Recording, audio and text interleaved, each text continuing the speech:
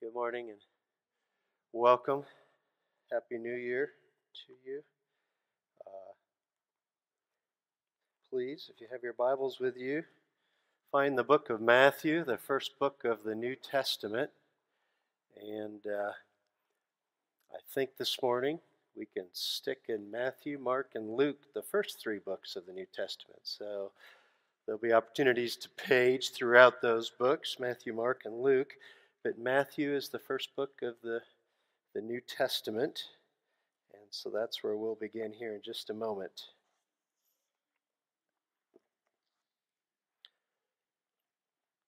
So the last time I uh, preached, I had seven pages of notes, and I have seven pages again, but I have really big font. So I'll, I'll show you. I can show you my seven pages. How's this? Okay, is this good? They better be in order. Malachi Tuck helped me out this morning. So there's my seven pages of notes right there. And uh, those of you, yeah, we'll, we'll zip right through them. Uh, not enough vowels, though, to put a word together there, as they're done. So, uh, last winter uh, and spring, Janelle and I got to uh, take a class. It's called Perspectives Perspectives on the World Christian Movement.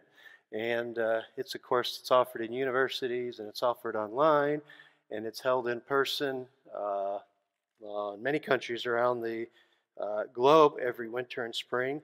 And one of the, the purposes of that class is to just expose students to God's story and history and what's been happening in our world since the start of the early church, looking at the history of the church and history of evangelism around the world, and then it leads all the way up to what's going on in the current time. And uh, it was a wonderful course. Uh, it begins again on January the 19th, I believe. And uh, if any of you would have any interest in knowing more about it, uh, please see me or look up online perspectives.org. Uh, I know there's a class classes getting underway at Fairhaven Church and at Patterson Park Church uh, here in just a couple of weeks. Uh, I'll just say to you, and, and those of you who know me kind of understand that I, would just say to you that it's a quality experience. Uh, wonderful lectures that come every week uh, and, and share most of them are uh, either active or retired uh, missionaries. And there's just a little book to read, 700 pages long. It's a collection of articles and stories, and it's really quality too. And uh, if you do it with your spouse, uh, Janelle and I did it together, and uh, it was nice. Did all our quizzes together, wrote our papers, and did our project at the end together and it was a quality experience. And I, I pulled out that book, and I was rereading through some of the articles uh, the last few days. And what I want to talk about this morning is is a little uh, adaptation from one of the articles that a man named George Patterson wrote, and it was an article called "The Spontaneous Multiplication of Churches." And George Patterson was a pioneer missionary in Honduras. And uh, a pioneer missionary is someone who goes into a people group where Jesus Christ is not known. And they're the first to go there and to introduce people to Jesus. And can you imagine what that would be like to go to a another culture, speaking a different language, and being the first to tell them about Jesus? And then where do you begin? What do you do? What do you start with? All of us growing up in our culture, uh, even those that aren't a part of the church, there's still some commonality with what church is about, what religion's about, what God's about, what Jesus is about. There's something there. But when you go to a brand new people group and you're the first to go, what is the things that we, as a, as a pioneer missionary, that needs to be taught to those people? And uh, George Patterson in this uh, little article that he wrote said that the, the starting point is to teach people to obey the commands of Jesus. To teach people to obey the commands of Jesus. And he uh, looked through the Gospels and looked at what was going on, the activities of the early church as described in Acts and throughout the epistles, and came up with seven commands of Jesus that were foundational, primary for a church. At the very beginnings of a church. So, if you can imagine sitting with a group of people and you have God's Word and you've got knowledge in your brain about Jesus and the gospel and church and heaven and hell and the Holy Spirit and the Trinity and all of this, and you're talking to somebody that knows nothing about that. And uh, through George Patterson's ministry and uh, things that he, he said, here are seven things, seven commands of Jesus that are our starting point. And as we uh, go into this new year, I just thought it would be appropriate to go through those seven with you. And uh, maybe this will uh, bother you, but maybe it will cause your children later to say, What was Pastor Van doing? But we have a little mnemonic device to help us to remember these seven things. Uh, and that's what those seven letters are. And they're down through the side of your notes if you have your notes. But it's really big lassos can pull giant dogs. Really big lassos can pull giant dogs. So we're low budget, but we do have a really big lasso. Is that all right? Do I look like I could be in? Probably not. But this is a really big lasso, all right? And we're still low budget. We don't really have a giant dog, but we do have a dog. All right? And so really big lassos can pull giant dogs. And I really hope that later on your kids say, What was Pastor Van doing with a lasso and why was their dog up there? And you can go through these seven things with your kids, with your grandkids, with your neighbors, and maybe you can find a rope and uh, swing it around too so that they can be remembering these things. But what is it again? Say it with me. Really big lassos can pull giant dogs. Say it again really big lassos can pull giant dogs. Are the letters in the right order? Somebody nod. Okay, Tommy, thank you. All right, really big lassos can pull giant dogs. Got it? I didn't hear it any well. Say it again. Nice. Can you do it without the letters? Some of you can. Some of you are really quick learners. All right, let's do it. Yeah. Here, here we go. Here we go together one more time. Really? Really big lassos can pull giant dogs. All right?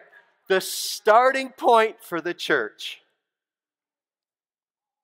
is to obey the commands of Jesus. Is to obey the commands of Jesus. And we're going to look at seven of them, as I've said. If you have your Bibles, turn to Matthew 28, the very last chapter of the book of Matthew. We'll go to the very end of that chapter. And perhaps this is a few familiar verses to you. Uh, some of our Bibles here recently have gotten rid of the red letters. Some of you familiar with the red letters in the Bible, right? That that help us to see the words of Jesus. Right? They pop out uh, in my Bible, my text here. It's in red. Matthew 28 and verse 18 says this Then Jesus came to them and said, All authority in heaven and earth has been given to me. Therefore, go and make disciples of all nations, baptizing them in the name of the Father, and of the Son, and of the Holy Spirit, and teaching them to obey everything I have commanded you. That's our starting point this morning the followers of God should be about obeying the commands of Jesus and teaching them to other people. The things that you have heard, Jesus says, from me, teach them to others. Teach them to obey everything I've commanded you. Now, there's a lot more commands from Jesus than seven. Right? There's a lot more than seven. But it's interesting that these seven uh, that George Patterson chose uh, are repeated often in the early church. And we see the early church practicing these things. And so that very next generation, or that generation of Jesus, the apostles that were with him, took the commands of Jesus and taught them to others. And little churches were springing up all around Asia, and Southern Europe, and North Africa. What were they doing in these churches? Obeying the commands of Jesus. Uh, we talk about obedience, uh, just a couple of things here in our introduction yet. Uh, we need to remember that we don't obey Jesus to earn favor or status with God. Okay? We obey Jesus out of love for God. Okay? It's always in love. And if we obey for any other reason, then it becomes legalism. We're trying to gain status or favor with God, and God hates legalism. Another really thing about, about obeying Jesus is that God enables us to obey, obey Jesus. In Philippians chapter 2, verse 13, there's this verse that says, Continue to work out your salvation with fear and trembling, for it is God who works in you to will and to act in order to fulfill his good purposes. There's something about God and His Holy Spirit transforms our hearts and transforms our minds so that He enables us to obey the commands of Jesus. So it's not just our efforts and, oh, how are we going to do this? But as we love God and follow God, God makes obeying Jesus easier for us. It becomes natural for us. It becomes our nature because it's what? It's our new nature, our resurrected life nature that's in us that starts coming out.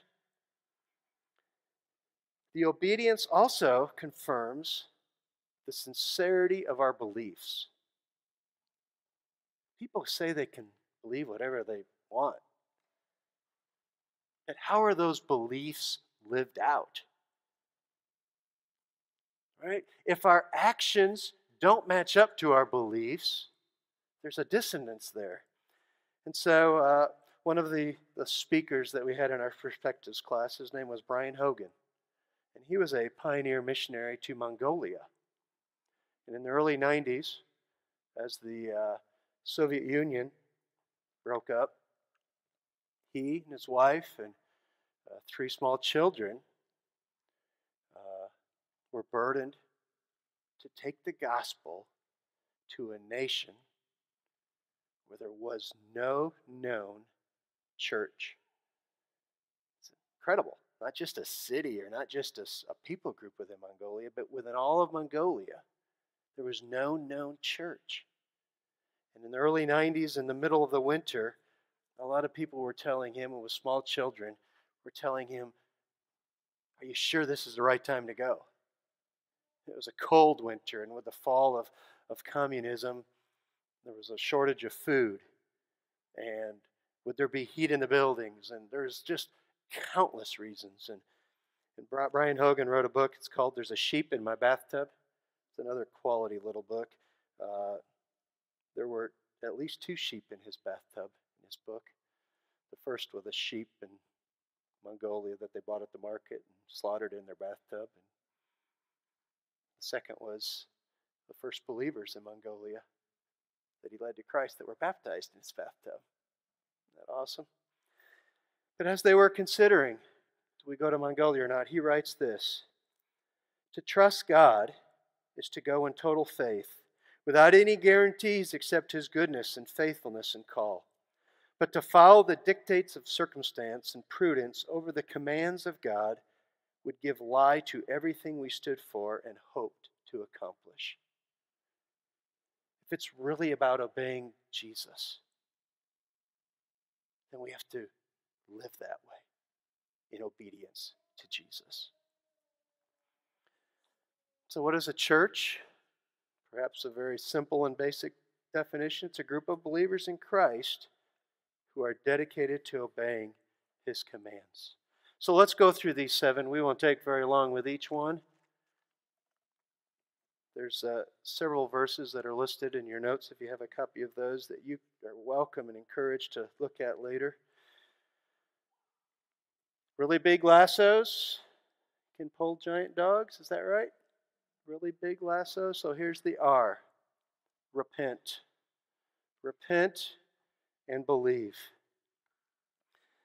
In your Bibles, if you just turn maybe one or two pages to the Mark, book of Mark, chapter 1 and verse 15. Mark 1 and verse 15. The time has come, Jesus said. The kingdom of God is near. Repent and believe the good news. Some of these commands of Jesus are pretty obvious, right? Maybe as you start reading the Gospels, you, these will start popping out more to you just from what we do this morning. But what does Jesus say? Repent and believe the good news. Repent. Repent is that idea of turning from the action of sin. And believing is what's drawing us toward a different action. Repent, we turn our back on the action of sin, whatever that sinful behavior is been in our lives, and we say, No, we want to believe in God and believe that His way of doing things is the right way to do things. In a sense, He becomes Lord of our lives, right? Control of our lives. We submit to Him, He's our master. So repentance is turning from sin. We confess it, we leave it behind. We understand the immensity of His forgiveness. And we love Him so much that we want to turn from our own sinful desires. Patterson writes. Let me just say that again. We understand the immensity of his forgiveness. And we love him so much that we want to turn away from our own desires. So repentance is, is turning our back away from sin and believing that God, that his way is a better way. John 3:16 For God so loved the world that he gave his only begotten son that whosoever believes in him. What is that belief about? It's a belief, it's putting a trust that Jesus is the way to go, the way to life. So repent is turning from sin, and believing is choosing to trust Jesus as Lord. In Acts 3 in the early church, Peter stands up, and in Acts 3:19 he says this, "Repent then why do you think he said that? Because he had spent time with his Lord Jesus Christ. And what did Jesus say? Whatever you've heard from me, teach others to obey it. Well, what did he hear from Jesus? Repent. So, what did Peter do in his message? He says, Repent then and turn to God, so that your sins may be wiped out and the time of refreshing may come from the Lord. There's another sweet account in Luke chapter 7 about a sinful woman who demonstrates repentance and belief. She comes to Jesus and anoints his feet and is weeping.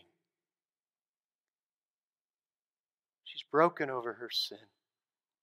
But she knows that Jesus is where she can go to find forgiveness, a loving Savior. And at the end of that passage, Jesus forgives her of her sins. It's a beautiful picture of repentance and belief. Number two, really big lassos can pull giant dogs. B. Got two B's here. Be baptized. Be baptized. Be baptized. Did you ever consider this as a command of Jesus. If you just go back your two pages in your Bible to the end of the book of Matthew, the verses that we read to begin with, Matthew 28, what did Jesus say? All authority in heaven and on earth has been given to me. Therefore, go and make disciples of all nations, baptizing them in the name of the Father, the Son, and the Holy Spirit. What did the early church do? Right in the book of Acts, the first several chapters, over and over again. People believed and were baptized. People believed and were baptized. Why? Because they were obeying the commands of Jesus. What is baptism about? It's we identify Jesus as our Lord and we let people know that He's the one we've chosen to follow. He's the one. In many foreign cultures where the church is persecuted, it's, it's baptism that begins the challenges and the persecution for a follower of Jesus because they're publicly identifying and saying, My allegiance is first to Jesus Christ. In Romans chapter 6, we read that baptism is also just a beautiful picture of our new life that's in Jesus. Just read Romans chapter 6, these first 11 verses. What shall we say then? Shall we go on sinning so that grace may increase? Paul writes. By no means. We are those who have died to sin. How can we live in it any longer? Or don't you know that all of us who were baptized into Christ Jesus were baptized into his death? We were therefore buried with him through baptism into death, in order that just as Christ was raised from the dead through the glory of the Father, we too may live a new life. What is that picture of baptism? Going down into the water? Death. Laying in the grave. No life, no air, no oxygen. Can't stay there very long. Becomes desperate for what? For air to breathe. And you come up as Jesus was resurrected from the grave come up to a new life, come up to air, to real life. And it's just that beautiful picture of ourselves dying and being raised like Jesus to a life with Jesus. Continues in that passage in Romans For if we have been united with him in death like his, we will certainly also be united with him in resurrection like his. For we know that our old self was crucified with him, so that the body ruled by sin might be done away with, that we should no longer be slaves to sin, because anyone who has died has been set free from sin. Now, if we died with Christ, we believe that we will also live with him. For we know that since Christ was raised from the dead, he cannot die again. Death no longer has mastery over him. The death he died, he died to sin once for all. But the life he lives, he lives to God. In the same way, church, count yourselves dead to sin, but alive to God in Christ Jesus. I don't know, my mind just goes back to that little group of people sitting around one of those pioneer missionaries. And someone repents and believes in Jesus. What do we do next? Will we be baptized? And when they're baptized in a bathtub or in a river or in a lake, what are all the people watching and seeing? Isn't it amazing the imagery and the symbolism that's there? As they ask questions, as kids ask questions, what are these people doing? Dying to themselves, becoming alive for Jesus. Be baptized. Let her be.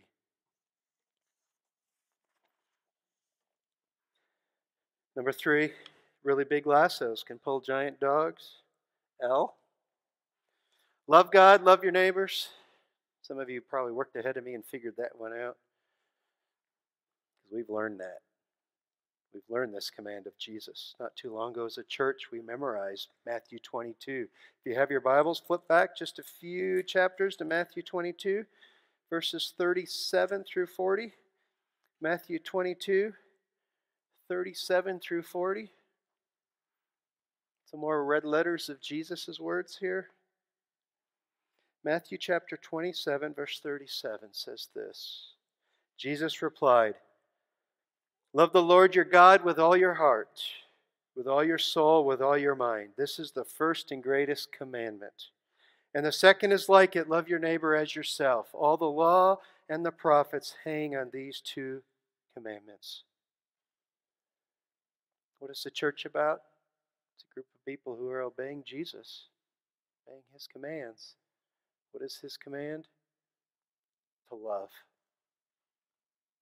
That's revolutionizing in most cultures. Because that's not our nature. Our nature, it's all about ourselves. It's all about getting ahead and preserving yourself. And Jesus says, No, I have a new commandment for you. It's to love others. In John 14, verse 15, Jesus says, If you love me, keep my commandments. It's just part of obeying Jesus, is out of love. There's also another pretty special reason why we love. Do you know this? That when we show love to each other, we teach the world about Jesus. It's unusual. It's not ordinary to truly love someone else.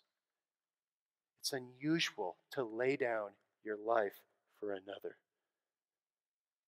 The usual is the Levite and the priest who walks by the man who's murdered by the side of the road. Because they've got things to do themselves. And they have an agenda, and they have a calendar, and they have to be productive, and they're on to their next thing. But it's unusual for someone to stop and help a neighbor in need. When we love God and we love neighbors, we're, we're telling the world about Jesus. Teaches the world about Jesus. Love is a sacrifice, it puts the needs of others above our own. In John 15, verses 12 and 13, Jesus repeats this again. My command is this love each other as I have loved you. Greater love is no one than this to lay down one's life for one's friend. Love is sacrifice. Love costs something. Love is valuing your neighbor and trying to introduce them to Jesus. Right? That's their greatest need relationship with Jesus. Jesus sacrificed his life for us because he left us. The command of Jesus is to love God and love your neighbors. Number four, letter C, celebrate communion two C's here again. Celebrate communion.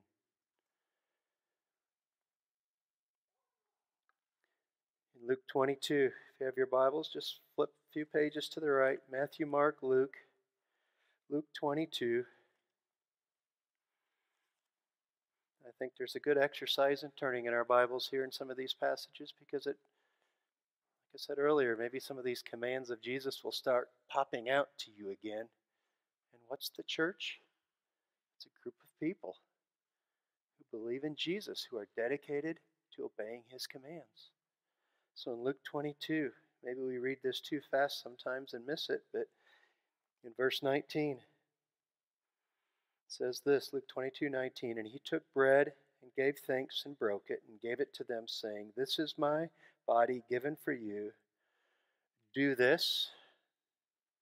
See those little command words? do this? Kids, you ever heard your parents say this?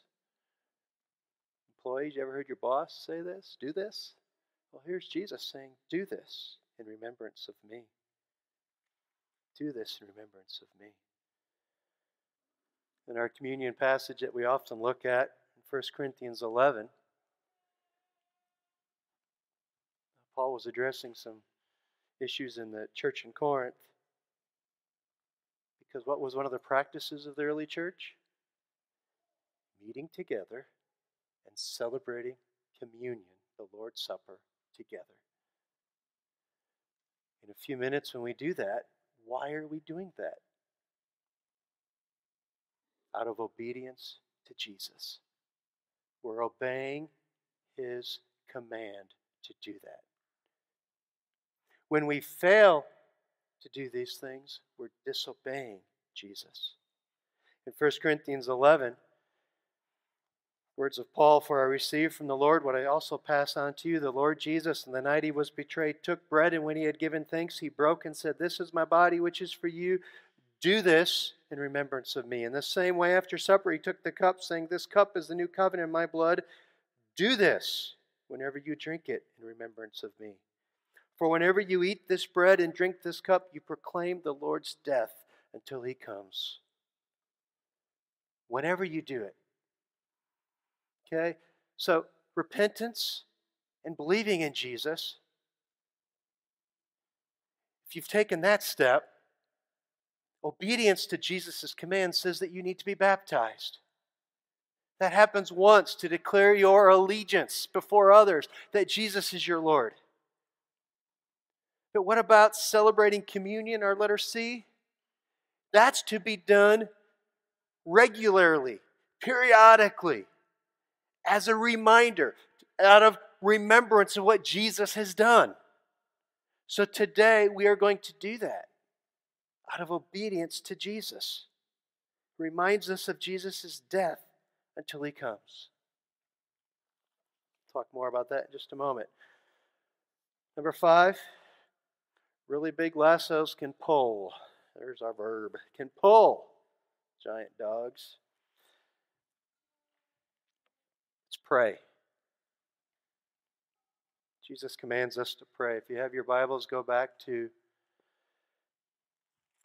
Matthew chapter 5, Matthew chapter 6. Matthew chapter 6. Some more red letters of Jesus, another command of Jesus. Matthew chapter 6 and verse 5. Jesus says, And when you pray, he's assuming we're praying. And when you pray, do not be like the hypocrites, for they love to pray standing in the synagogues and on the street corners to be seen by others. Truly, I tell you, they have received their reward in full. But when you pray, go into your room, close the door, and pray to your Father who's unseen. Then your Father who sees what is done in secret will reward you. And when you pray, do not keep on babbling like pagans, for they think they will be heard because of their many words. Do not be like them, for your Father knows what you need before you ask Him. Three times, but when you pray, but when you pray, but when you pray. Those who are obeying Jesus pray. When do you pray? When do you Find a quiet time alone with God to pray.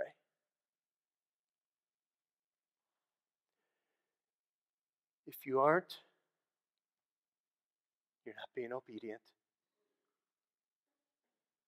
You're not being obedient. You're disobeying the command of Jesus. Jesus says, pray.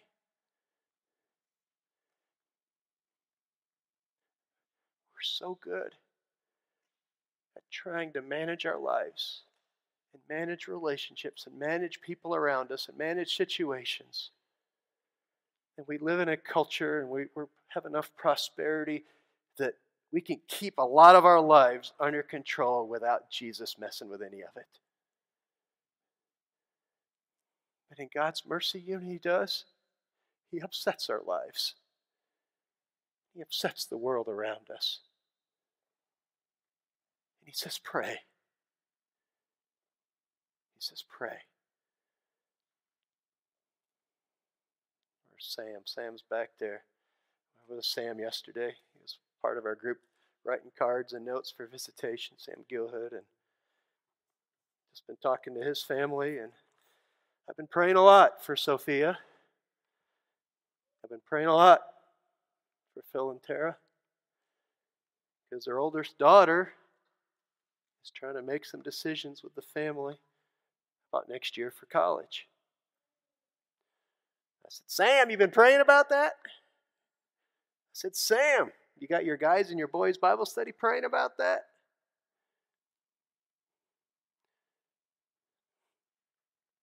You're not praying, just just look around. Maybe your life's okay, and maybe your own life's not going to drive you to prayer. But if you love your neighbor, maybe what's going on in your neighbor's life will drive you to pray. Maybe. Pray for that family that's breaking up. Pray for that coworker losing a job or has lost their health and can no longer work. When you start writing down a list to pray, there's not enough hours in the day to pray for the needs and to praise God and to thank God. And Jesus says to pray. And how do you pray? Well, in those next few verses in Matthew chapter 6, Jesus says, This then is how you should pray Our Father in heaven, hallowed be your name. Your kingdom come, your will be done on earth as it is in heaven. Give us today our daily bread. Forgive us our debts, as we also have forgiven our debtors. And lead us not into temptation, but deliver us from the evil one. A whole lot of little pieces in there to guide your little sections of your prayer life praise, protection, thanksgiving, your daily needs, spiritual protection. It's all there. The church is a group of people who have given their lives to following Jesus and they're dedicated to obeying the commands of Jesus. You can look in Luke 18, verses 1 through 8, sometime when you have time. A little parable is given of a woman who's persistent in going to an unjust judge over and over again. And finally, that unjust judge gives in to her out of just, I need relief from her nagging. And Jesus closes that with this he says, Listen to what the unjust judge says. And then will not God bring about justice for his chosen ones who cry out to him day and night? Yes, he will. Will he keep putting them off? No, he won't. Persistent prayer, crying out to God. Number six, give. Give. Really big lassos can pull giant dogs. Give. Matthew chapter 6, probably still there in your Bible. Verse 2. So when you give to the needy, do not announce it with trumpets as the hypocrites do in the synagogues and on the streets to be honored by others. Truly I tell you, they have received their reward in full. Matthew 6, verse 3. But when you give, give to the needy do not let your left hand know what your right hand is doing. When do you give? In the early church, we read in Acts chapter 4 that the early church, it says there, there was no one in the assembly of believers that had a need. Because people were giving. Why were they giving? Because Jesus said, you need to give. You need to be givers. Right? It's just our love in action is, is to give of what you have. And so they sold possessions, they sold their land, they sold their property to provide for those who had need. When do you give?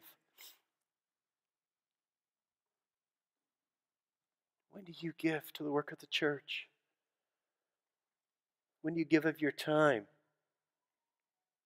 and of your resources? Are you known as a generous person with your things? No pressure, Matt Jobson, but our, our recent here property owner in Xenia, is he going to be a Potter or is he going to be a Bailey? From It's a Wonderful Life? We're watching, Matt. God's watching. Someone who gives, gives generously. Luke 6:38 Jesus' words, "Give, and it will be given to you. A good measure, pressed down and shaken together and running over, will be poured into your lap. For the measure you use, it will be measured to you." In 2 Corinthians, Paul writes, Remember this whoever sows sparingly will also reap sparingly, and whoever sows generously will also reap generously. Each of you should give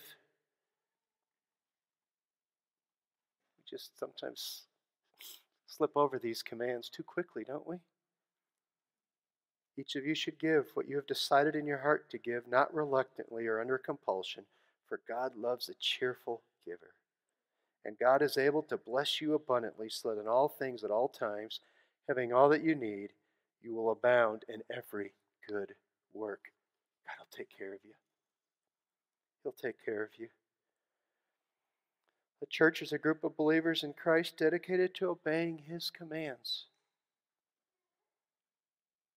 Do you give? And number seven, disciple others.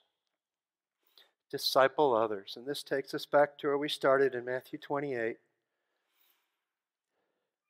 Disciple others.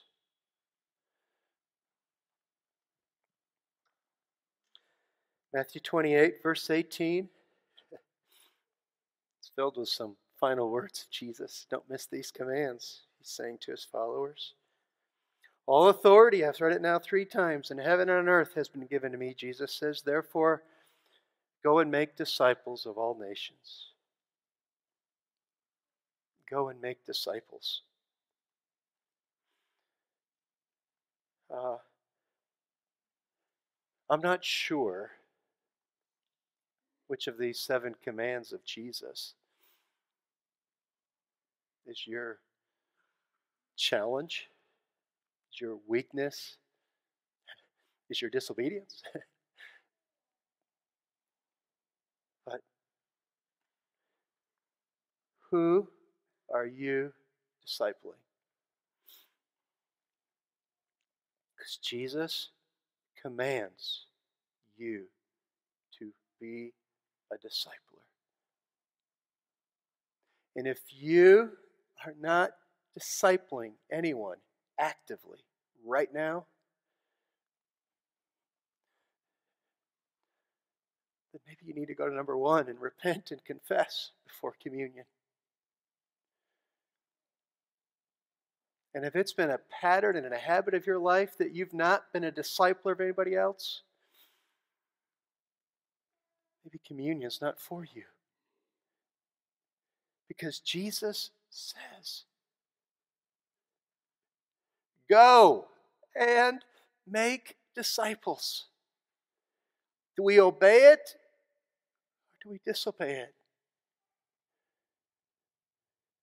Whose lives are you building into?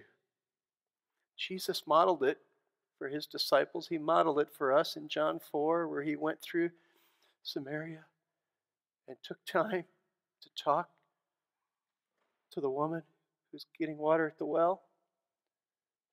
And what did she do? She ran into the town and told others, Come see Jesus. And many in that town believed Jesus.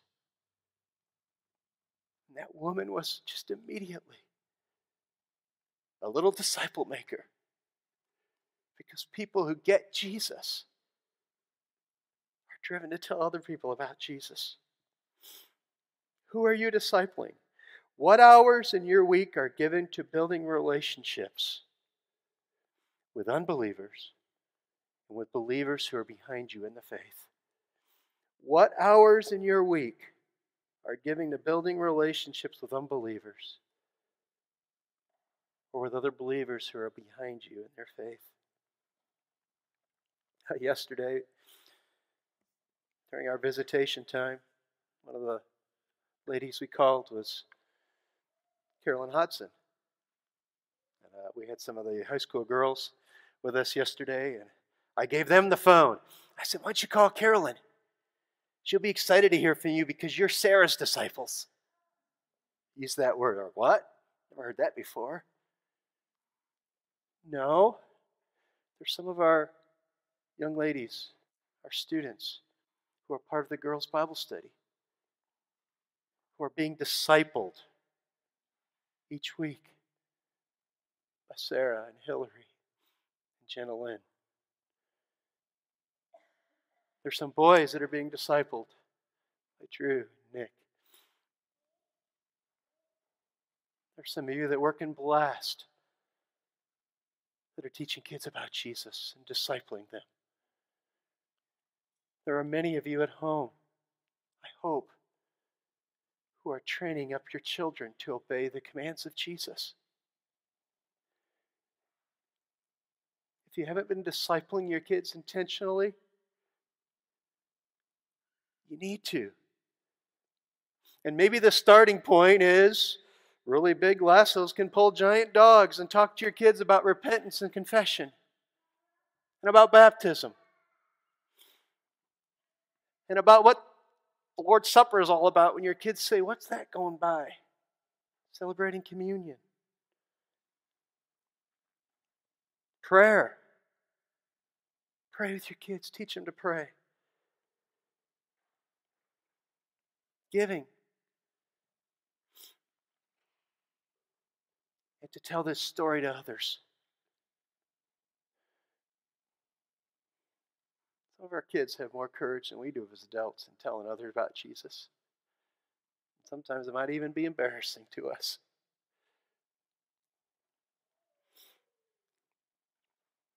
So, in conclusion, I just want to ask this question What adjustments are necessary in your life in order for you to obey Jesus in just these seven areas? There's plenty more, but you need to make any adjustments in your life in order to obey Jesus.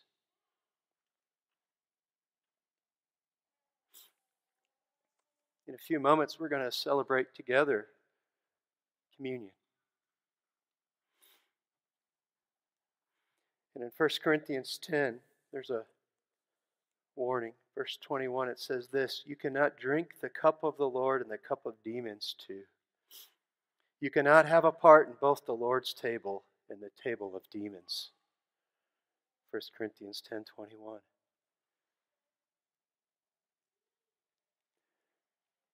The table that Jesus sets before us is not a table for those who do not want to obey the commands of Jesus. It's light and darkness difference.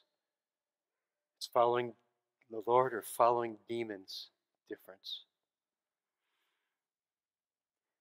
1 Corinthians 11, verse 27, it says this So, whenever, so then, whoever eats the bread or drinks the cup of the Lord in an unworthy manner will be guilty of sinning against the body and the blood of the Lord. Everyone ought to examine themselves before they eat of the bread and drink from the cup.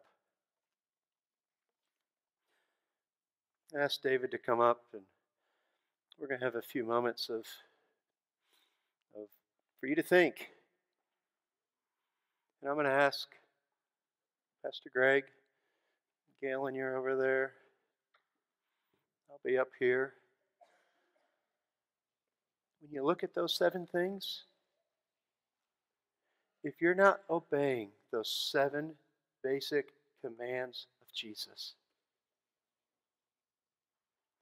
communion is not for you until you do that. It's it's not for you. Don't make light of the death of Jesus. And if you need to go and pray with someone, maybe you need to, at your seat, turn around and kneel at your seat. Say, Jesus, I'm sorry. I've been disobedient to you. I've not been obeying your command. Please forgive me. Turn from sin, repent, and believe again that Jesus is Lord and that His way is the right way to go. Maybe you need to come up front and kneel at a step. But we're going to take some time. Look through those seven areas. Are you obeying the commands of Jesus?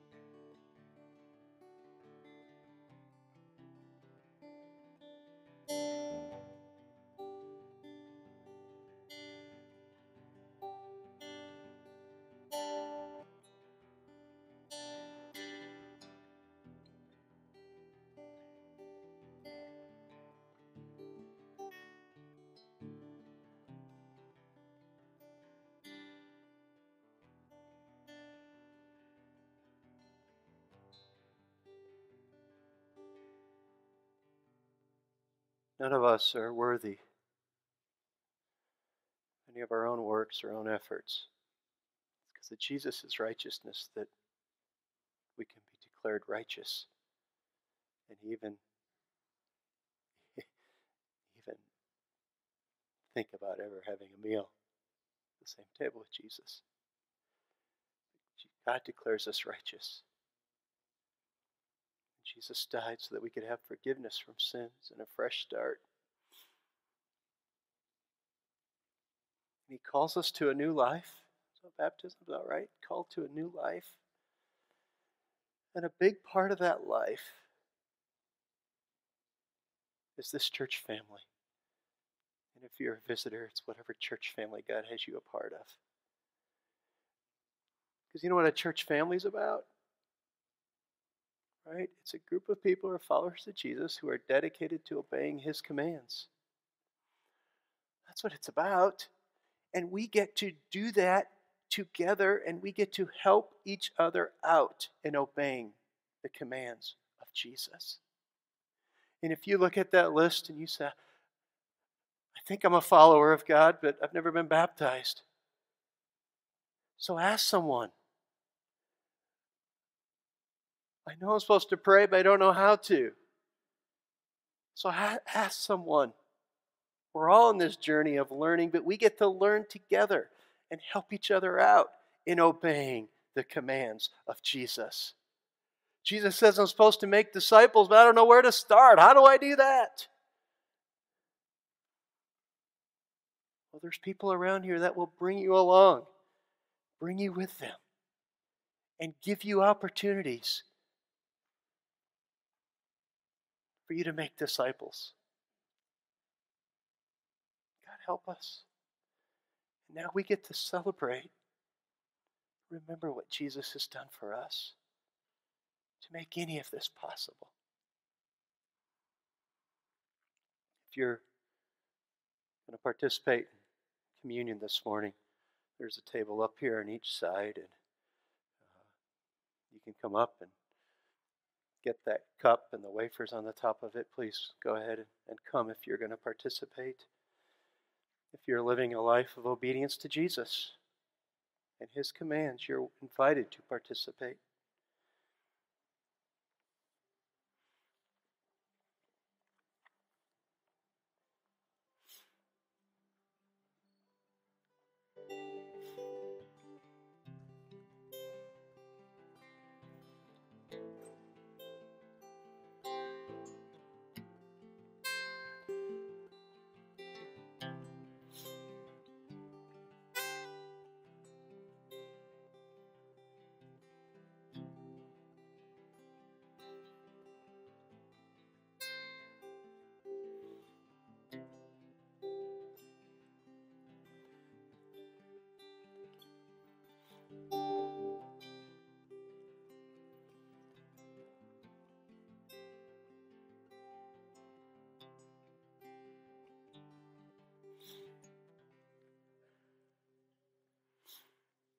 We read in 1 Corinthians 11 For I received from the Lord what I also passed on to you. The Lord Jesus, on the night he was betrayed, took bread, and when he had given thanks, he broke it. Let me pray. Father, we thank you that you came to this earth in the body of a man in flesh. The perfect sinless sacrifice for us. And that your body was broken and beaten. You were rejected, abused, mocked, and on display for all to see. For us.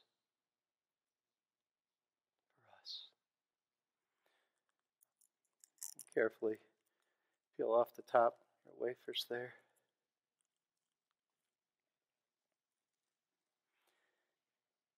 And Jesus said, This is my body, which is for you. Do this in remembrance of me.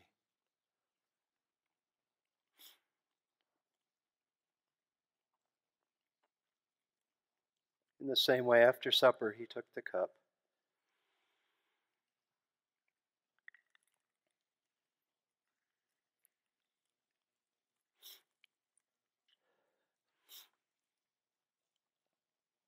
God, we read that there's life in the blood. Throughout the Old Testament, how was it that the altar that was bloodied became the, picture of purification? But because Jesus, we thank you because Jesus came shed his blood, let go of his life so that we might have life and a relationship with you. Oh God, thank you. Thank you for the blood of Jesus. This new way that we can be in your family. Our sins can be forgiven we can live victoriously. Amen. Jesus said, in the same way, he took the cup. This cup is the new covenant in my blood. Do this whenever you drink it in remembrance of me. For For whenever you eat this bread and drink this cup, you proclaim the Lord's death until he comes.